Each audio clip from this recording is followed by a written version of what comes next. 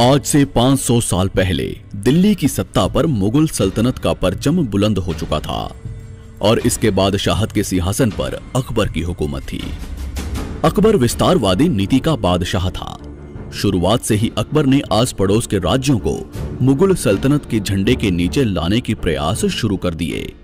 पूर्व को जीतने के बाद अकबर ने अपने पश्चिम अभियान में राजपुताने की रियासतों पर मुगल ध्वज फहराने की शपथ ली। इसी के तहत राजपुताने में सबसे पहले आमेर रियासत ने अपनी पगड़ी उतारकर अकबर की बादशाहत वाली मुगल सत्ता को स्वीकार कर लिया। शुरू में तो राजपुताने की दूसरी रियासतों ने आमेर रियासत को एक तुर्क की अधीनता स्वीकारने पर धिक्कारना शुरू कर दिया, पर बाद में धीरे धीरे इन रियासतों ने भी अकबर की सत्ता को स्वीकार कर लिया। जब राजस्थान की बड़ी बड़ी रियासतें अपनी मदमस्त शान को गुलामी की बेड़ियों में बांधने में लगी हुई थी। उस वक्त मात्र मेवाड़ अपने स्वाभिमान की चमक बिखेरते हुए पूरी दुनिया के साथ खड़ा था। इस समय मेवाड़ पर राणा उदय सिंह का शासन हुआ करता था। जिन्होंने अपने पूर्वजों की भांति किसी की अधीनता को स्वीकार नहीं किया। इन्होंने अकबर को पत्र भिजवाया कि हमारे राजा सिर्फ़ भगवान एक लिंग जी हैं। हम तो मात्र उनके दीवान हैं। पर फिर भी अकबर ने राणा उदय सिंह पर भारी दबाव बनाना शुरू कर दिया। आस पड़ोस के राजाओं को उदय सिंह के पास भेजा जाने लगा। इन्हीं परिस्थितियों में दिन गुजरते रहे और एक दिन अचानक मौसम बदलने लगा। बादलों की घमासान गर्जना के बीच राणा उदय सिंह की सबसे बड़ी रानी माता जयवंता बाई ने एक पुत्र को जन्म दिया।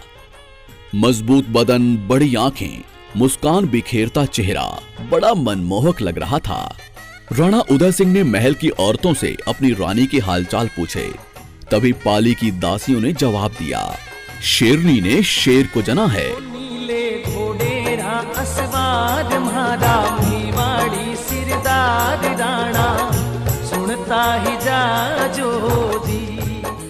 राणा पुत्र पाकर बड़े खुश होने लगे।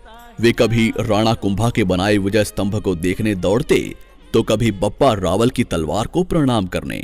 सरदारों ने पूछा, हुकुम, कुंवर जी का नाम क्या होगा? राणा शांत होकर बोले, जिस तरह सूरज अपनी चमक से धरती को रोशन करता है, उसी तरह मेरा पुत्र अपने शौर्य के प्रताप से मेवाड़ को रोशन करेगा। अतः इसका नाम प्रताप होगा। कुंवर प्रताप सिंह सिसोदिया। माता जयवंता बाई कृष्ण भक्त थी। उन्होंने शुरू से ही कुंवर प्रताप को भगवान कृष्ण और महाभारत की युद्ध कलाओं का ज्ञान दिया।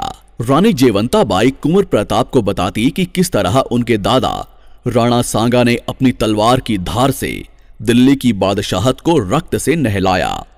किस तरह उनके परदादा बप्पा रावल का शौर्य के रक्त में नहाया हुआ कलेजा जब अरब की धरती पर गरजा तो आने वाले 400 सालों तक कोई भी विदेशी भारत की तरफ़ आँख उठाने की हिम्मत नहीं कर पाया। सिसोदिया वंश के इस अतीत को सुनते हुए प्रताप बड़े होने लगे। समय आने पर उनको गुरुकुल भेज दिया गया, जहाँ प्रताप सुबह का समय गुरुकुल में बिताते, दोपहर के समय वे भीलों की बस्तियों में चले जाते। शाम होते होते प्रताप लोहारों के गाँवों में निकल जाते। उनको हथियार बनाने की कला सीखने में बड़ा आनंद आता था। जनता के बीच इस कदर घुल मिल जाने पर प्रताप सबके चहेते बन गए। भीलों ने उनको कीका कहकर बुलाया। तो वहीं लोहारों ने उनको अपना राजा मानना शुरू कर दिया। कुंवर प्रताप बचपन से ही वीर, स्वाभिमानी और हठी स्वभाव के थे। उनका शरीर सामान्य बच्चों से कई गुना मज़बूत था। उन्होंने छोटी सी उम्र में ही अफगानियों की बस्ती पर धावे बोलने शुरू कर दिए। मेवाड़ से होकर गुजरने वाली मुगल सेना पर वे गुलेल से हमला कर देते। कुंवर के इन कारनामों को देखते हुए सबको लगने लगा था कि बड़े होने पर वे महाप्राक्रमी योद्धा बनेंगे और प्रताप ही भविष्य में मेवाड़ के राणा बनेंगे। उदय सिंह जी की कई रानियाँ भी थी, जिनसे उनको कुल तैंतीस संतानें थी। पर उदय सिंह जी की सबसे प्रिय रानी थी धीर बाईसा इनकी बात को राणा उदय सिंह अधिक महत्व देते थे। इन्हीं के कहने पर राणा उदय सिंह जी ने इनके पुत्र जगमाल को मेवाड़ का भावी राणा घोषित कर दिया। शास्त्रों के अनुसार सदैव बड़ा पुत्र ही राजा बनता है। पर सागर जैसे विशाल हृदय वाले कुंवर प्रताप ने पिता के इस आदेश को मानते हुए छोटे भाई जगमाल को राजसत्ता देना स्वीकार कर लिया। किंतु सभी सामंत, सरदार और राज्य की जनता ने उदय सिंह के फैसले पर विरोध किया। वे कुंवर प्रताप को ही अपना राणा मानते थे। समय के साथ राणा उदय सिंह का स्वास्थ्य बिगड़ने लगा और सन 1572 आते आते उनका स्वर्गवास हो गया। उनके अंतिम संस्कार में कुंवर प्रताप सहित मेवाड़ का प्रत्येक व्यक्ति आया। पर कुंवर जगमाल इस समय महल में अपना राज्याभिषेक करवा रहा था। ऐसी संकट की घड़ी में जगमाल के अपने पिता के अंतिम संस्कार में उपस्थित न होने के कारण सभी सरदारों ने यहीं गोगुंदा की पहाड़ियों पर रक्त से मेवाड़ के असली हुक्म श्री कुंवर प्रताप का राज्याभिषेक कर दिया। सरदार रावत कृष्णदास चुंडावत ने राणा प्रताप की कमर में तलवार बांधते हुए ललकार लगाई। मेवाड़ मुकुट केसरी, कुंवर प्रताप सिंह आज से मेवाड़ के राणा हैं। यहीं से राणा प्रताप ने अपने सरदारों के साथ कुंभलगढ़ की तरफ़ कूच किया। राणा के आने की खबर सुनकर छोटा भाई जगमाल राजगढ़ी छोड़कर अकबर की शरण में भाग गया, जिसके बाद साल 1573 को कुंभलगढ़ की राजगद्दी पर वीर शिरोमणि महाराणा प्रताप का विधिवत रूप से राज तिलक कर दिया गया। कौन है ये महावीर, जिसे दुनिया ने मेवाड़, मुकुट हिंदुआ सूरज के नाम से नवाजा? मेवाड़ की राजगद्दी पर बैठने वाले महाराणा प्रताप एक ही वार में घोड़े सहित दुश्मन को काट डालते थे। वो परम स्वाभिमानी शिव भक्त थे, जिनके नाम से ही दिल्ली की बादशाहत काँप जाया करती थी। उन्होंने जंगलों में रहना स्वीकार कर लिया, पर कभी अकबर की गुलामी स्वीकार नहीं की।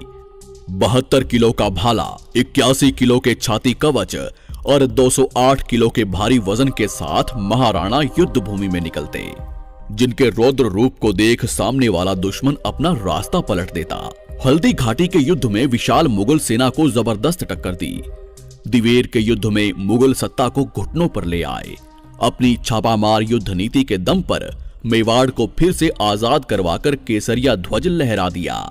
मुगलों के 36 किलो को जीतकर चालीस हज़ार मुगलों को आत्मसमर्पण के लिए मजबूर कर दिया।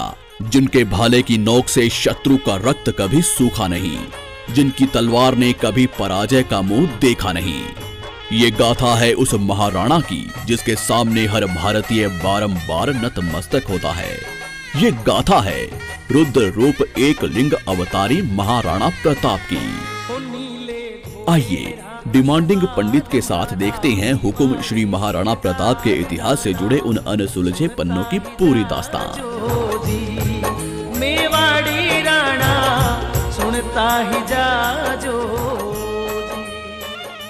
फरवरी 1572 को महाराणा हुकुम ने मेवाड़ की राजगद्दी संभाली।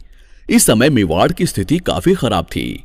पिता उदय सिंह जी के समय मुगलों के साथ हुए युद्ध में मेवाड़ की पूरी व्यवस्था बेहाल हो चुकी थी।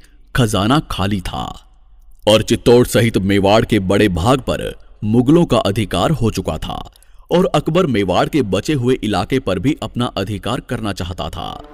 महाराणा प्रताप ने राजा बनते ही अपने समस्त सरदारों को बुलाया और उनसे कहा कि रघुकुल मान सदैव ऊँचा रहेगा।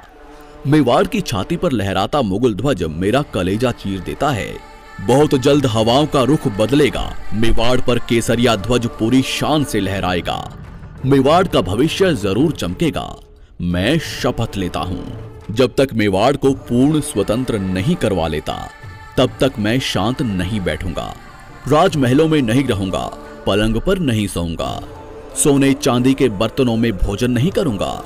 मेरे वीरों, स्वाभिमान की दहाड़ से हमारा टकराव अब विशाल फौजों से होगा। तैयार हो जाइए। सभी सरदारों ने प्रतिघात के स्वर में अपनी तलवारें लहराई।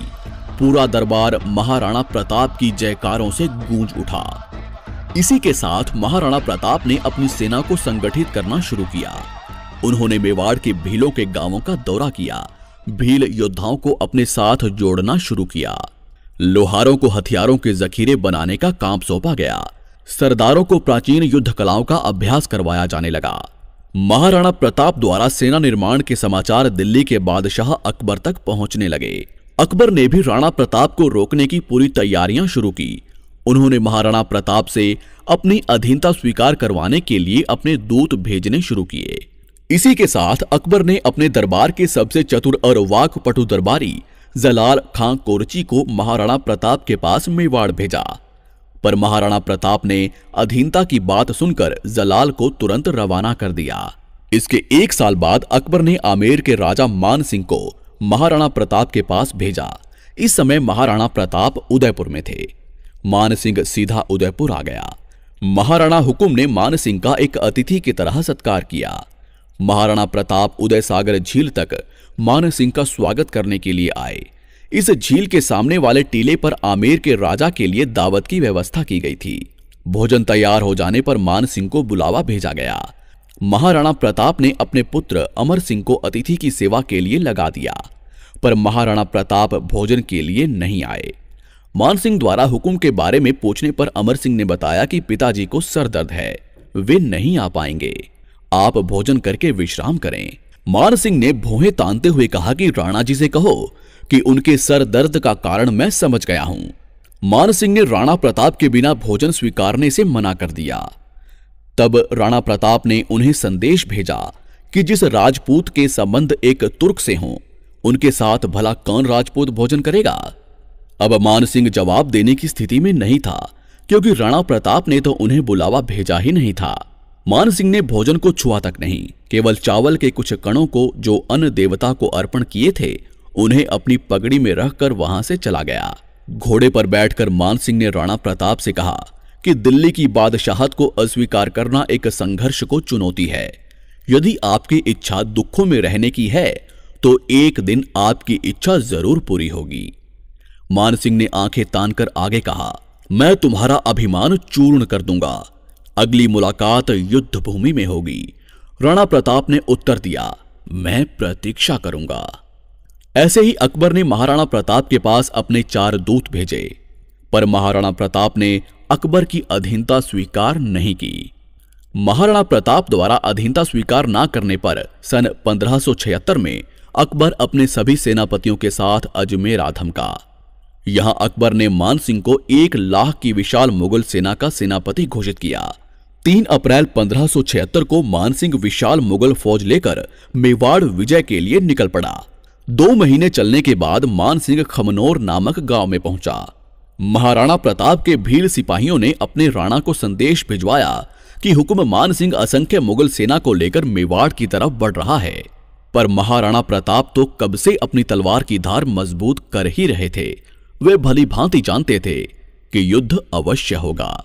इधर मान सिंह बनास की नदी के मैदानों में आ पहुँचा। मान सिंह ने यहाँ मोलेना गाँव में अपना डेरा लगाया। दूसरी तरफ़ महाराणा हुकुम ने अपनी बीस हज़ार की सेना के साथ उससे छह मील सामने लोसिंग गाँव में अपना पड़ाव डाला। विशाल मुगल सेना में राजपूत और मुगल थे, जबकि महाराणा प्रताप की सेना में राजपूत, भील पठान और लोहारों के गाँवों के लोग थे। 18 जून 1576 को संसार के अनोखे युद्ध का आगाज़ हुआ। आकाश में घनघोर बादल थे और धीमी धीमी हवाएँ चल रही थी। कभी कभी बिजली की तेज गड़गड़ाहट हो रही थी इसी बीच मुगल सेना आगे बढ़ने लगी। तभी महाराणा प्रताप ने अपने हरावल दस्ते को शत्रु पर प्रहार करने के लिए आगे भेजा। हुकुम की हरावल सेना ने आगे बढ़ रही मुगल सेना के तीन हरावल दस्तों को पूरी तरह से नष्ट कर दिया। इस घनघोर हमले से घबराकर मुगल सेना का हरावल खेमा लूणकरण के नेतृत्व में भेड़ों के झुंड की तरह भाग निकला। अब मेवाड़ और मुगल सेना आमने सामने आ चुकी थी। तभी वीर विराट मेवाड़ मुकुट, हिंदुआ सूरज महाराणा प्रताप ने युद्ध भूमि में प्रवेश किया। राणा श्री के युद्ध में आते ही मुगल खेमे में दहशत का माहौल फैल गया। महाराणा जिस ओर बढ़ जाते, वहाँ शत्रुओं की लाशों के ढेर लग जाते। मुगलों ने पहली बार महाराणा प्रताप को देखा था। इससे पहले सिर्फ़ उनका नाम ही सुना था। बंदायुनी ने अपनी किताब में महाराणा प्रताप के संबंध में लिखा कि वो बहुत लंबे, मज़बूत और ताकतवर थे। प्रताप हाथ में तलवार लेकर जब चलते थे तो ऐसा लगता था कि मानो आधी सेना को अकेले ही लेकर डूबेंगे। उनके चेहरे पर सदैव गुस्से की लकीरें चमकती रहती थी। युद्ध भूमि में शुरुआत से ही किसी मुगल सैनिक ने उनको छेड़ने की हिम्मत नहीं की। महाराणा प्रताप की सेना ने तीन घंटों में ही लाशों के ढेर लगा दिए। घबराई हुई मुगल सेना अरवली की घाटी की तरफ़ भागने लगी। मुगलों को भागते देख सेनापति मेहतर खां ज़ोर ज़ोर से चिल्लाने लगा कि बादशाह सलामत अकबर विशाल सेना लेकर खुद युद्ध भूमि में आ रहे हैं। यह शब्द सुनकर भागती मुगल सेना सोच में डूब गई कि भागे तो अकबर मार देगा, नहीं भागे तो राणा मार डालेगा। महाराणा प्रताप अब मान सिंह को युद्ध भूमि में ढूँढने निकल पड़े, जिसने कहा था कि अगली मुलाकात युद्ध भूमि में ही होगी। तभी हुकुम ने देखा कि मान सिंह हाथी पर बैठा था। महाराणा प्रताप ने बड़े वेग से चेतक के अगले पैरों को मान सिंह के हाथी के मस्तक पर टिका दिया और अपने भाले से मान सिंह पर करारा प्रहार किया। पर मान सिंह अपने हाथी पर लगे हौज में छुपकर बैठ गया। पर राणा श्री के करारे वार से उसका महावत मारा गया। मान सिंह के हाथी की सूंड में एक तलवार लटकी हुई थी, जिससे चेतक का अगला पैर कट गया। इस समय तक महाराणा प्रताप के पैर में एक गोली लगी हुई थी। उनके शरीर पर असंख्य घाव थे। पूरा शरीर खून से लथपथ हो चुका था। तभी सादड़ी रियासत के झाला बिदा ने कहा कि हुकुम, आपके प्रिय चेतक को इलाज की ज़रूरत है और आपके पैर पर भी गोली लगी है, जिससे जहर फैल सकता है। आप तुरंत वैद्य जी के पास जाएँ। महाराणा प्रताप अपने घोड़े चेतक को अपने पुत्र की तरह प्यार करते थे। उन्होंने झाला बिदा को मेवाड़ का राज छत्र दिया और बोले, सेना को पूरा नेतृत्व देना और स्वयं चेतक पर सवार होकर युद्ध को पूरी तरह से पहाड़ियों की तरफ़ मोड़ लिया, जहाँ पहाड़ियों पर भीलों ने युद्ध का मोर्चा संभाल लिया। मुगलों को अब एक नई टक्कर मिली। महाराणा प्रताप चेतक को लेकर पर्वतों की ओर निकल पड़े। यहाँ चेतक ने 26 फीट की गहरी खाई को कूदकर पार कर लिया और बलीचा गाँव में घायल चेतक नीचे गिरकर बेहोश हो गया। तभी महाराणा प्रताप का छोटा भाई शक्ति सिंह, जो मुगल सेना की तरफ़ से लड़ रहा था, महाराणा प्रताप का पीछा करते हुए यहाँ तक आ पहुँचा। महाराणा प्रताप बेहोश चेतक को सहला रहे थे कि तभी उनकी नज़र शक्ति सिंह पर पड़ी। उन्होंने शक्ति सिंह से कहा, सीना खुल्या मार भाला, तुम गोद गुलामी टीकण लगे। भारत माते कह दूँगा, तेरे पूत दामन में बिकन लगे। शक्ति सिंह बड़े भाई के शब्दों को सुनकर फूट फूट कर रोने लगा और भाई के पैरों में जा गिरा। इधर हल्दी घाटी के मैदानों में घमासान युद्ध चल रहा था। घाटी के दरों में राणा पुंजा भील और राजपूत सरदार मुगलों को भीषण टक्कर दे रहे थे। अंत में मान सिंह ने हल्दी घाटी के दर्रों में जाने की बजाय मुगल सेना को वापस अजमेर चलने का आदेश दिया। अकबर की विशाल साधन संपन्न सेना का गर्व मेवाड़ी सेना ने मिट्टी में मिला दिया। मान सिंह और आसफ खान जब खाली हाथ अकबर के सामने उपस्थित हुए तो क्रोधित अकबर ने तीन महीने तक उनके दरबार में आने पर पाबंदी लगा दी। उनकी संपत्ति को जब्त कर लिया गया, उनका वेतन और सभी सुविधाओं को तुरंत रोक दिया गया। हल्दी घाटी के भयानक युद्ध के बाद महाराणा प्रताप अपनी सेना के साथ कुंभलगढ़ आ गए। विनाशकारी युद्ध का पासा महाराणा प्रताप के पक्ष में था, पर इस समय तक उनका खजाना खाली हो चुका था। हल्दी घाटी के चार महीने बाद ही सन 1577 में अकबर ने एक बार फिर शाहबाद खान के नेतृत्व में भारी सेना कुंभलगढ़ पर हमला करने के लिए भेजी। हल्दी घाटी जैसे विशाल युद्ध के बाद एक नया युद्ध मेवाड़ की सेना के लिए भारी था। अतः महाराणा प्रताप ने किले को त्याग दिया। कुंभलगढ़ पर शाहबाज खां का अधिकार हो गया। कुछ महीनों के बाद महाराणा प्रताप ने फिर से सेना तैयार की और पूरी तैयारी के साथ शाहबाज खां पर आक्रमण करके कुंभलगढ़ को वापस जीत लिया। कुंभलगढ़ विजय के बाद महाराणा प्रताप ने आगे की रणनीति बनाने के लिए सभी सरदारों को बुलवाया। जहाँ सरदारों ने हुक्म से कहा कि हमें सिंध की तरफ़ निकलना चाहिए, जहाँ हम धन का बंदोबस्त करके एक विशाल सेना का निर्माण करेंगे और सीधा अकबर पर आक्रमण करेंगे। इसी उद्देश्य से महाराणा प्रताप भाण सोनगरा को कुंभलगढ़ का किलेदार नियुक्त करके गुजरात की तरफ़ निकल गए। आगे इसी रास्ते में महाराणा प्रताप ने शाहबाज खां को दो बार पराजित करके वापस लौटने पर मजबूर किया। गुजरात पहुँचने के बाद महाराणा प्रताप ने चूलिया गाँव में अपना डेरा लगाया, जहाँ परम दानवीर भामा शाह ने महाराणा प्रताप के लिए अपना खजाना खोल दिया। उन्होंने महाराणा प्रताप को 25 लाख रुपए की सहायता दी। इतने बड़े धन को पाकर हुकुम पुनः सेना की तैयारियों में जुट गए। बस यहीं से असली संघर्ष की शुरुआत होती है। महाराणा प्रताप ने सिंध जाने की बजाय पुनः मेवाड़ की तरफ़ कूच किया और सन 1582 में दिवेर के दर्रों में स्थित मुगल थानों पर आंधी के समान टूट पड़े। हुकुम रुद्र रूप धारण कर चुके थे। उन्होंने अपने सामंतों को आदेश दिया कि किले को चारों तरफ़ से घेर लो। कोई बचकर नहीं निकलना चाहिए। तभी महाराणा प्रताप के पुत्र अमर सिंह ने अकबर के चाचा सुल्तान खान पर भाला फेंका, जो सुल्तान खान के घोड़े सहित आर पार निकल गया। यहाँ छत्तीस हज़ार मुगलों ने महाराणा प्रताप के सामने आत्मसमर्पण कर दिया। महाराणा ने दिवेर के किले पर केसरिया ध्वज लहरा दिया। मुगलों की दिवेर हार से बौखलाए अकबर ने सन पंद्रह में महाराणा प्रताप को बंदी बनाने के लिए भेजा। पर जगन्नाथ कचवाहा बुरी तरह से पराजित हुआ। उसने महाराणा प्रताप से माफ़ी मांगी और बकायदा हरजाना भी दिया। इसी के बाद महाराणा प्रताप ने कमल मीर के किले को जीत लिया, जहाँ अमर सिंह ने कमल मीर के मुगल अधिकारी अब्दुल्ला को कई टुकड़ों में काट डाला। इन्हीं लगातार जीतों के बाद पंद्रह में महाराणा प्रताप ने चावंड को जीतकर उसे अपनी राजधानी बनाया, जिसके बाद उन्होंने लगातार एक एक करके मुगलों के 32 किलों को जीतकर अकबर की नींदें हराम कर दी। मान सिंह से उसके देशद्रोह का बदला लेने के लिए महाराणा प्रताप ने अपनी सेना लेकर आमेर के मालपुरा पर आक्रमण किया, जहाँ से उन्होंने मान सिंह की बेशुमार दौलत को अपने कब्जे में लिया। अकबर ने स्वीकार कर लिया था कि राजपुताने के इस शेर को कोई कैद नहीं कर सकता। उसने अब महाराणा प्रताप को ना छेड़ने में ही अपनी भलाई समझी। इसके बाद बारह सालों तक महाराणा प्रताप ने ऐसा शासन किया कि मेवाड़ के व्यापार को चार चाँद लग गए। मेवाड़ की खोई हुई चमक वापस लौटने लगी।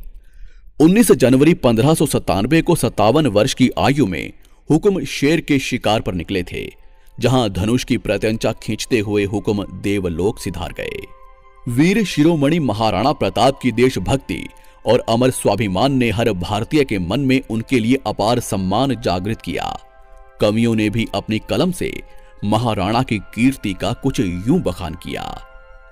धर्म रहेगा और पृथ्वी भी रहेगी, पर मुगल साम्राज्य एक दिन नष्ट हो जाएगा।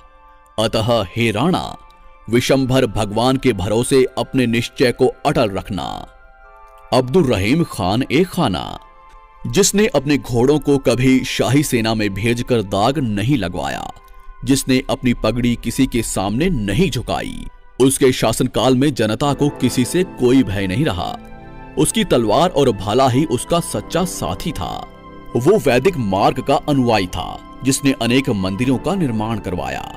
उसके शत्रु भी उसकी वीरता और स्वाभिमान के सामने झुक जाते थे।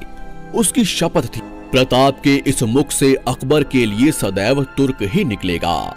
अतः हे राणा, जब जब भी कलम महाराणा प्रताप लिखेगी, तब तब सिर्फ़ महान महान और महान ही लिखा जाएगा। दोस्तों, इस वीडियो को बनाने में बहुत मेहनत लगी है। कृपया इस वीडियो को अधिक से अधिक लाइक कीजिएगा। चैनल को सब्सक्राइब